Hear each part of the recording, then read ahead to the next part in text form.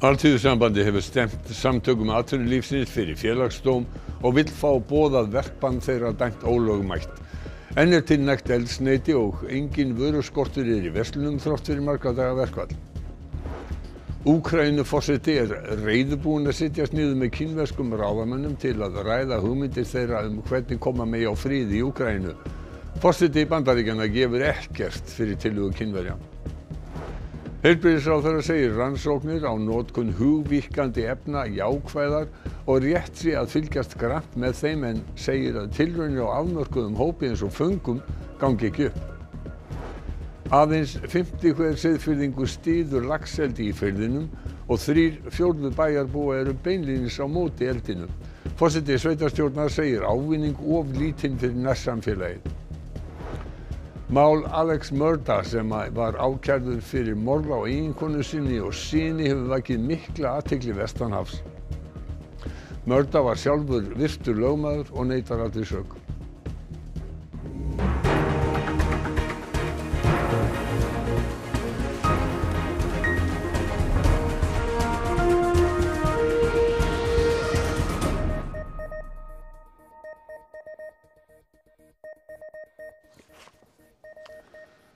Gott kvöld.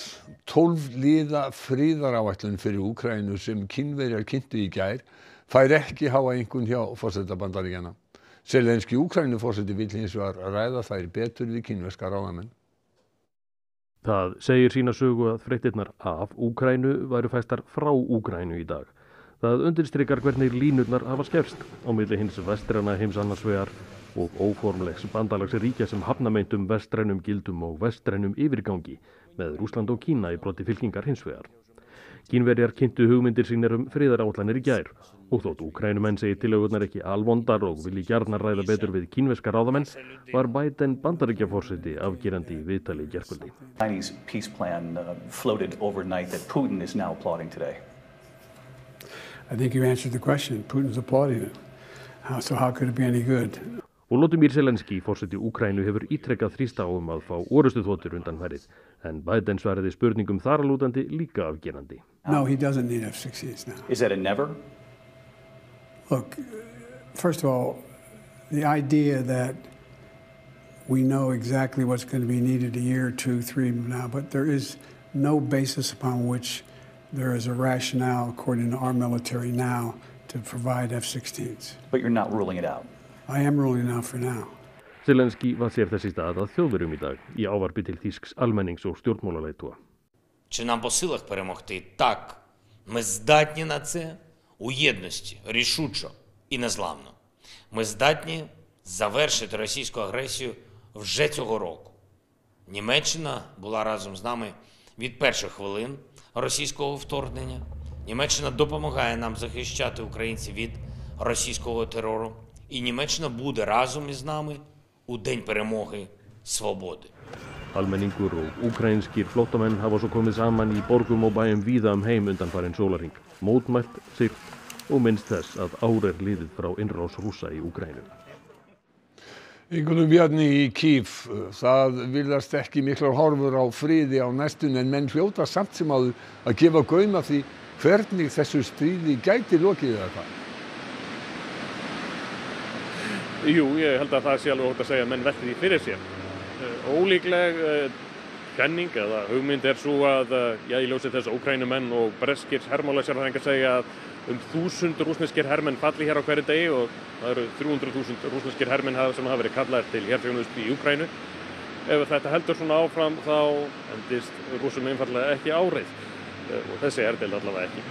En þá þarf að kalla til fleiri og það er ekki víst að það verði vinsælt kannski ekki líklegt að stríðinu endi af þessum sökum. Það er kannski meiri líkur á að það verði já, eitthvað í áttakti þá kenningu að nú sé verið að dæla inn vopnum sem sannlega er verið að gera í, í því augnamiði að úkrænumenn geti hafið öfluga árás á rúsa með vorunu reynd að reykja þá eins langt í burtu og hægt er og takist það þá verið þrýst bæði á úkrænumenn og rúsa að annarkort að gera einhvers konar fríðarsamkumlag eða allavega vopnarlíðarsamkumlag eins og í Kóriu. Úkrænumenn eru þá hugsanlega að gefa eitthvað landsvæði eftir en fengi í sárabót aðild að NATO með þeim vöryggis tryggingum sem fylgja því.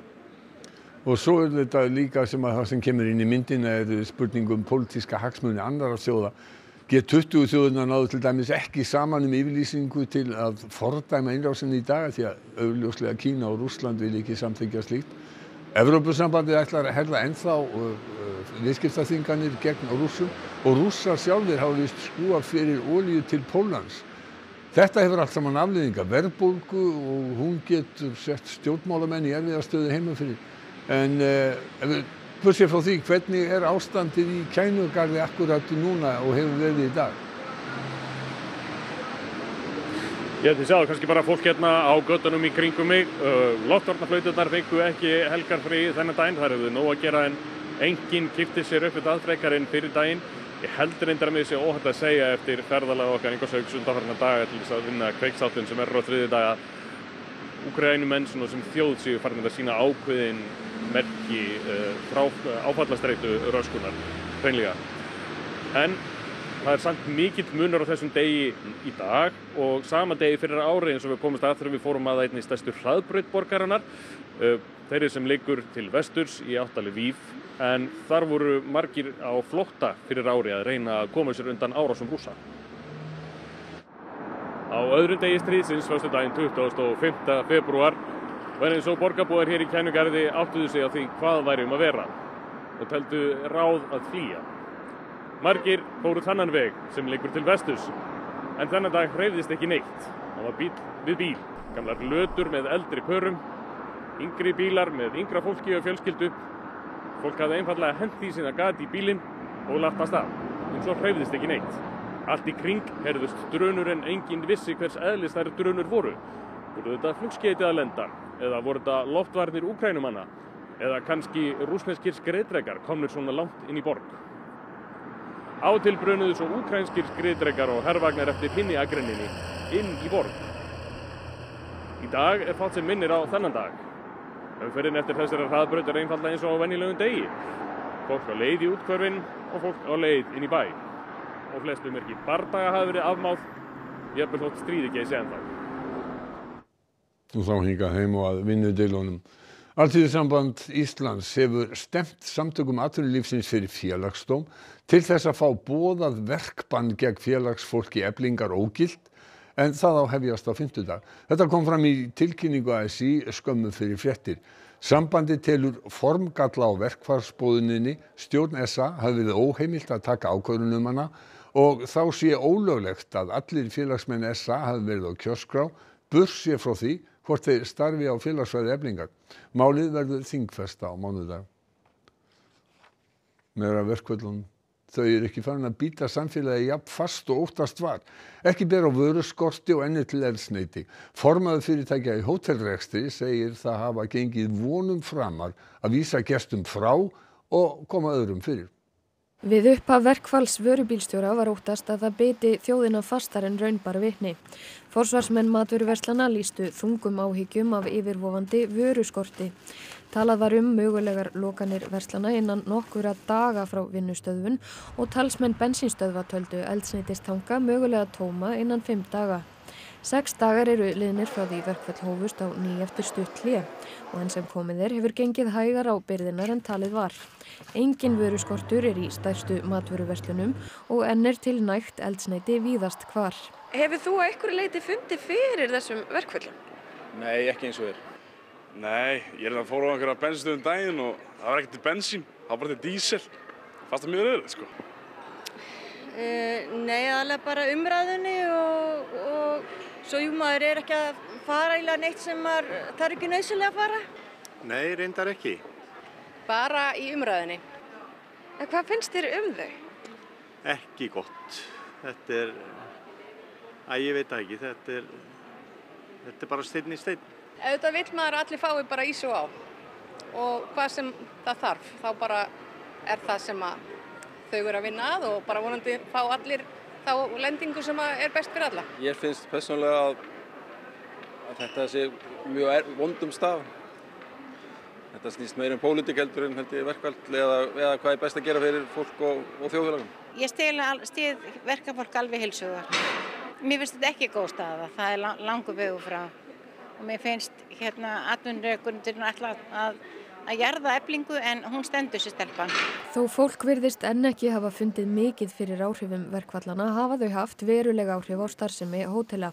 Í dag lokar sjötta hótelið af 15 þar sem starfsmenn hafa verið í verkvalli. Það var mikið talað um að það gæti þurft reynilega að grípa til þessara fjöldahjálpa miðstöðva og það miklu fyrirheldur en já, orðið er. Hefur þetta gengið betur en þið byggust við? Já, þetta hefur gengið betur en við byggust við, betur en við þorðum að vona og það hefur ekki þurft að grípa til þess en þá en við höfum leist það með því að senda fólk út á land, Borgafjörð, Suðurland og það er fjöldi manns farið þangað Heilbriðisráþara segir hugmyndur um að prófanir á hugvíkandi efnum á afmörkuðum hópi eins og föngum sem síðan aðlegast lífinu að nýju hljóma einkennilega og þær gangi ekki upp. Rétt sé þó að fylgjast með rannsóknum á þessu sviði. Jón Gunnarsson dómsmálaráþara tilur rétt að skoða kosti þess að nota hugvíkandi efni til meðferðar á fólki sem lendi verið áföllum. Hann sæði í speklunum á rúfa geðlagnar og fleira fagfólk hafi viðra við hann hugmyndur um einhvers konar verkefni gagvart hópum sem mögulega væri að koma úr fangjölsi á leið út í lífið. Einni fólki sem var að koma úr óbeldis aðstæðum, til dæmis stólendum nöðgana í alvarlegri málum, fólki með mikla áfallastreitur öskun.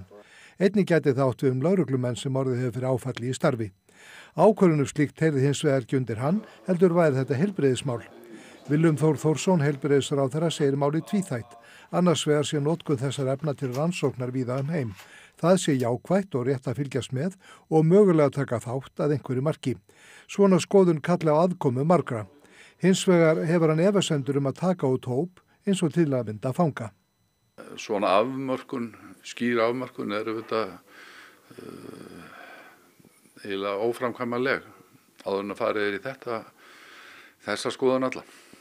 Hefur þetta eitthvað verið rætt? Já, dómsmálaráður hefur bara viðrað þessar skoðanir sínar og, hérna, og ekki farið lengra en það. Ljómar þetta enginlega í þín eru? Já, svona afmörkun á tilteknum hópi eh, bara gengur ekki upp.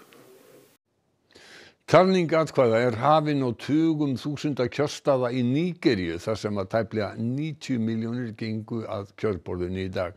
Kosið var bæðið til þings og um forseta. 20% verðbólga, gríðalegu skortur á reyðufjö og hriðiverka ógn eru meðal helstu kostningamála. Fórsetakostningarnar eru mest spennandi kostningar í Nígeríu frá því að herrstjórnin hvar frá í lók síðustu aldar. Átjónur í frambóði, þrýr eru taldir sigurstránglegastir.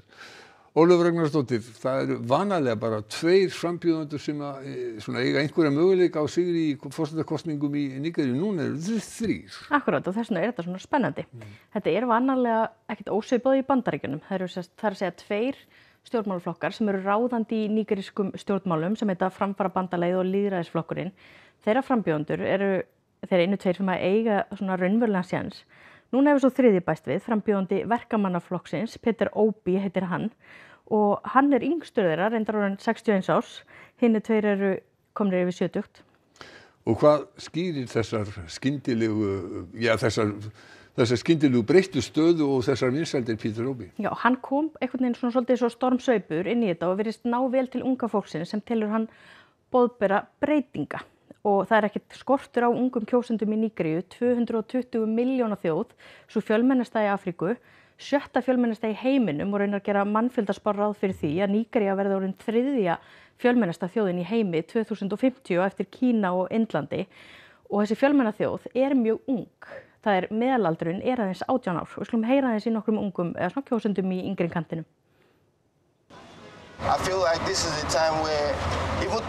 kantinum. I feel like this is a time where even not just the youths, but you know the old people have actually opened their eyes to see how much we've been cheated by our own people. I'm tired of the status quo. I'm tired of bad leadership that now pushes my country into you know into into problems that I mean we, we are dealing with right now, like insecurity, like poverty, like you know bad uh, bad educational system, bad health healthcare.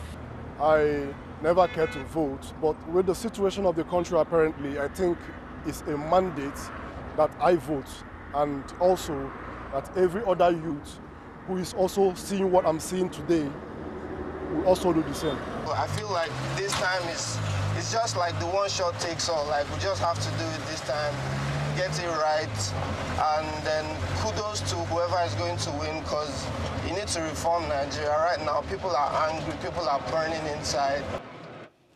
Hvenær má búast í niðurstöðu, Ólöf?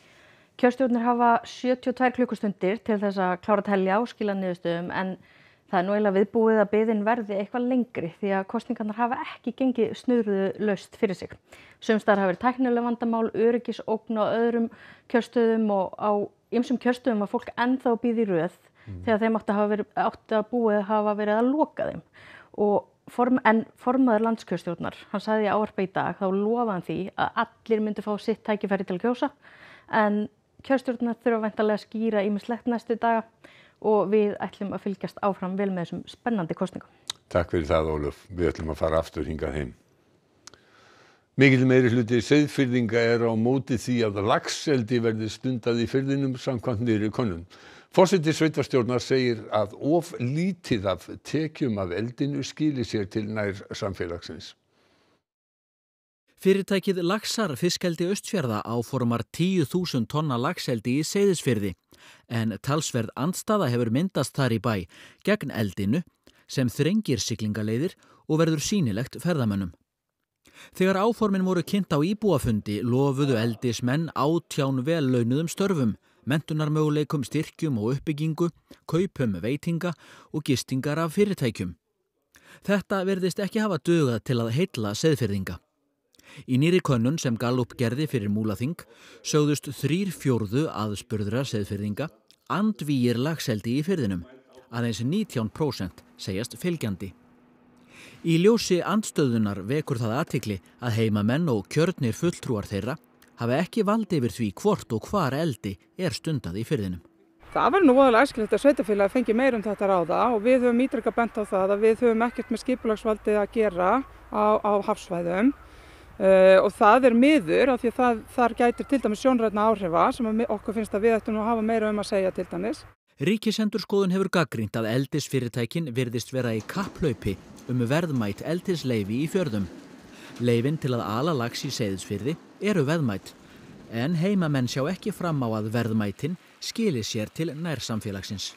Það sem er svo alvarlegt við þetta er að við erum að gefa leifi sem eru 20 miljardar krónar virði í staðin fyrir að selja þau og nýta nú kannski ágóðan í innviða uppbyggingu sem er mikil þörf á. Og síðan er það náttúrulega það að tekjur af þessu fara í fiskheldisjóð og fiskheldisjóður deilir því út eftir umsóknum hvert fyrir þá að fara og það er náttúrulega bagalegt að við þurfum til dæmis að byggja grunnskóla á segðisfyrir og það væri nú ekki verra að hafa atvinnuvegi sem væri með því móti að þeir skilu einhver inn í innviða uppbyggingu í kjörnunum okkar. Færri komast að en vilja við réttarhöldi við Alex Mörda sem er ákjærður fyrir morð á eiginkonu sinni og sinni. Sjálfur var Mörda virtur lögmaður og málið hefur vakið mikla aðtikli vestanhafs hjá áhuga fólki um sann sakamál. Mál Alex Mörda er marglega og flókið. Inn í það fléttast dularfullt andlát ráðskonu fjölskyldunar, rannsókn á banaslýsi frá 2019 sem margir telja hafa verið stungið undir stól og fjárdráttur. About uh, testimony of you stealing client funds. Did you do that? I did.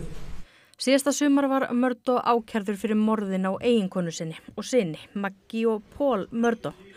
Saksóknara ennbættið saði Mördo hafa vilja beina kastljósinu frá umfangsmiklum fjárdrætti sínu. Hugmyndin hefði verið svo að rannsókninni eði hætt í samúðarskinni. Maggi og Pól voru skotin til bana í júni 2021 á lóð fjölskyldunar í Suður Karolínu. Í tæp tvö ár held Mördo því fram að hann hefði verið fjárverandi þetta kvöld. Uh, other than lying to them about going to the kennel, I was cooperative in every aspect of this investigation. Very cooperative, except for maybe the most important fact of all that you were at the murder scene with the victims just minutes before they died. Hann er sagaður um að hafa nýtt sér reynslu sína og reynda að búa til fjárvistarsönnun með því að keira til móður sinnar og ringja í vini og ættinga á leiðinni. Do you know why so many phone calls were missing from the log around this relevant time period when law enforcement downloaded your phone on June 10th? From my phone? Yeah. No, I don't. Did you delete them, Mr. Murdoch? Not intentionally. Murdoch var sjálfur lögmaður. Mál hans hefur fangað hug aðdáenda sannra sakamála og færri komast að en vilja í dómsalnum. 70 vitni hafa komið fyrir dómin og gert er ráð fyrir að réttarhöldunum ljúki um miðja næstu viku. Þá var allt öðrum málum því að í kvöld skýrist hvaða lög keppa til úslita í söngvakeppninni. Fimm flokkar stíg á svið á setna undan úslita kvöldinu og í söngvakeppnis höllinni í Gufunesi er Hafdís Helga Helgadóttir. Gjörðu þið svo vel?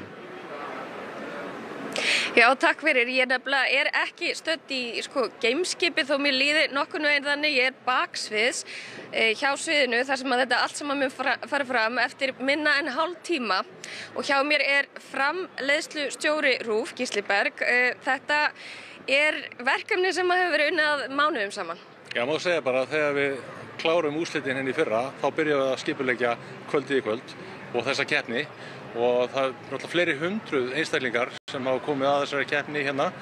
Og uh, það má segja að sé bara valinn einstaklingur í hverja einasta hlutverki. Og þetta mun allt saman fara fram hérna á sviðinu. Kíkið með, hérna munu keppundur ganga eftir um það byrj 20 mínútur. Og salurinn er að fyllast, það er geggjur stemming í húsinu. Já, salurinn er að fyllast og, og það er einmitt góð stemming í húsinu, ég ætla ekki að halda ykkur mikið lengur, þú þarfst að fara að sinna þínu. Heldur betur og ég segi bara góða skemmtun.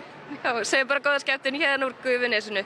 Já, takk fyrir það. Við ætlum að líta á veðrið. Það hvessir á norð-vestanverðurlandinu í kvöld og nótt með sunnan hvassriðir eða stormi og þetta verður framöndir haldi á morgun. Víða súld eða rigning með köplum.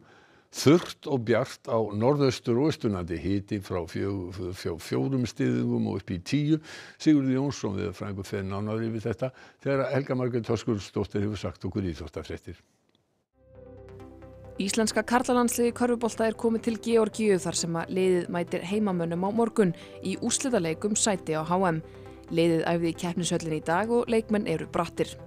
En, en þetta verður bara hörkuleikur og, og reiknum með brjálæri stemmingu.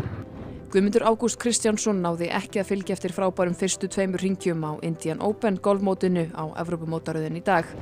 Keft var í úrvalsleildum Karla og Kvenna í handbolta og við förum yfir ennska boltan, háum í skíðagöngum og fleira til í íþróttum hér rétt á eftir.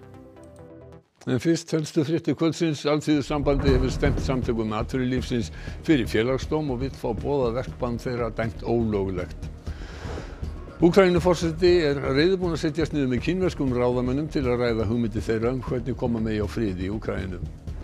Heilbriðisráþeira segir rannsóknir á notkun hugvíkandi efna jákvæðar, uh, efna jákvæðar en að tilraunir á afmörkuðum hópi eins og föngum gangi ekki upp. Aðeins 50 hver seðfyrðingur stíður lagseldi í fyrðinum og þrýr fjórðu bæjarbúa eru beinlýs á móti eldinum.